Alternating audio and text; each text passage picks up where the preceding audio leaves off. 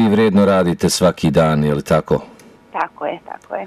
Dobro, proći će i ovo. Kakvi su posljednji izvještaji o kršenju naredbi, možete li nam reći?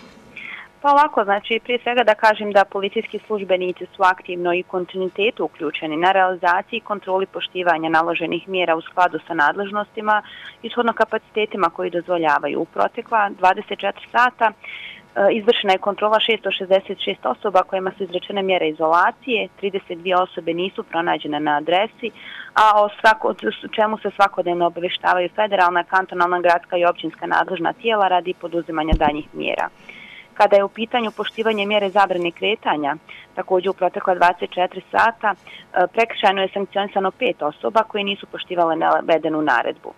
E, također su policijski službenici u proteklom periodu, odnosno u protekla 24 sata, vršili kontrolu poštivanja ostalih naredbi, te je upozoren određen broj lica na obavezu poštivanja naredbi, znači za korištenje zaštitnih maske od druge prikazne tkanine, na obavezu držanja socijalne distance, odnosno držanja odstojanja, također zabrana kretanja za osobe mlađe od 18 i starije od 65 godina, Kontrolsan su također taksi prevoznici, kojom prilikom je uručen jedan prekršajni nalog za nepoštivanje predviđenih mjera. Također su kontrolisani, e, kontrolisani rad ugostiteljskih objekata, odnosno poštivanje mjere zabrane i ograničenja rada, gdje možemo reći znači, da je uočeno da svi poštuju predviđene mjere.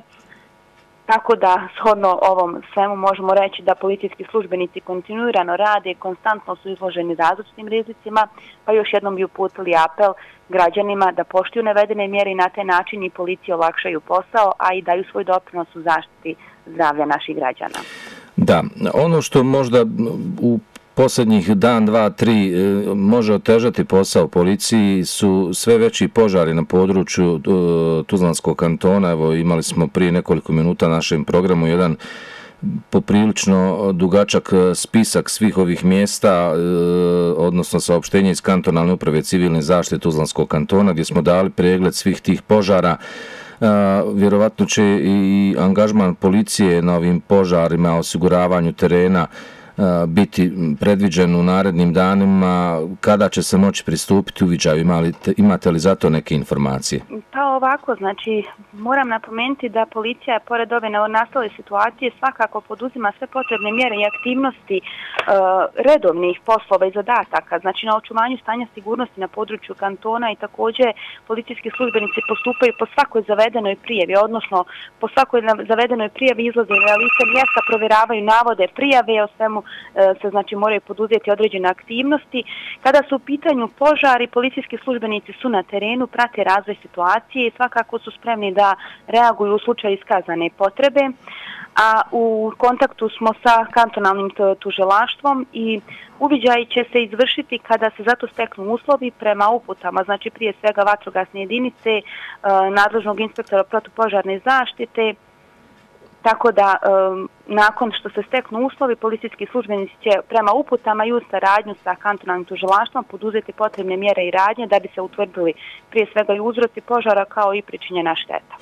Da, evo, mi ćemo nakon razgovora sa vama zapravo pozvati i port parola tužilaštva Tuzlanskog kantona da vidimo šta oni čine po ovom pitanju, kakve su kazne, kako smo zapravo i represivno, ali i preventivno djelovali e, kada je u pitanju širenje požara da evo ljude e, putem medija i putem svih vas koji se na određen način brinete za takve stvari upozorimo i na vrijeme kažemo šta ih čeka ukoliko se ovo nastavi.